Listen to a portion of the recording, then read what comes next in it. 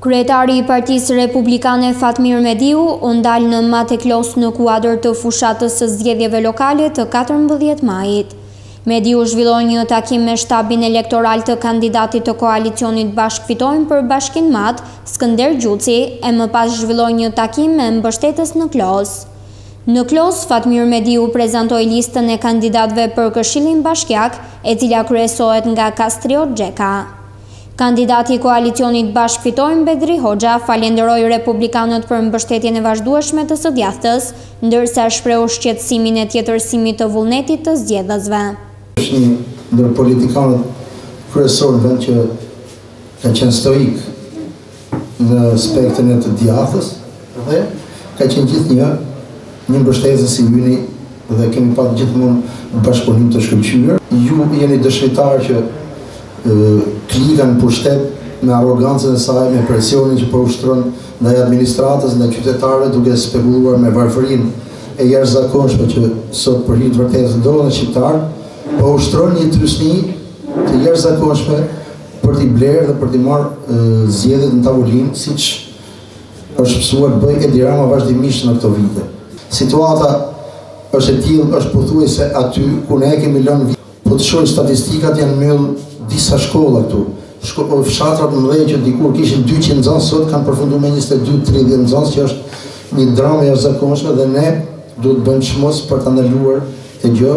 Duhet të luftojmë fort për çdo votë, Me qëllimin e vetëm që në katërmbëdhjetë maj t'i japim goditjen e parë Edi Ramës.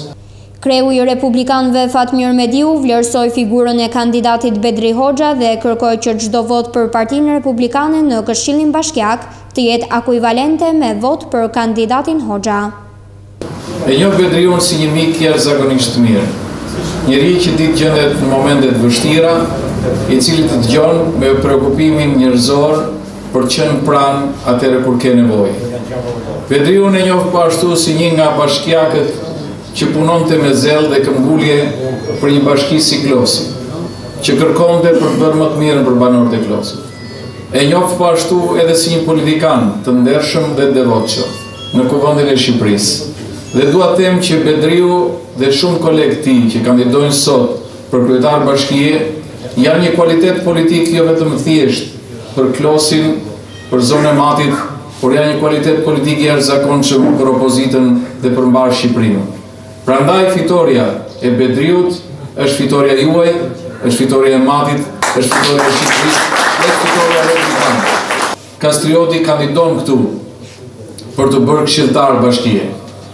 Dhe duhet të luftojmë fort me gjithë republikanët, gjithë historinë tonë, ku janë dhe ku s'janë, që të gjitha votat tona të jenë vota për Partinë Republikane, por asnjë votë për Partinë Republikane nuk do të kishte vlerë në qoftë se nuk do të jetë votë për Bedriun.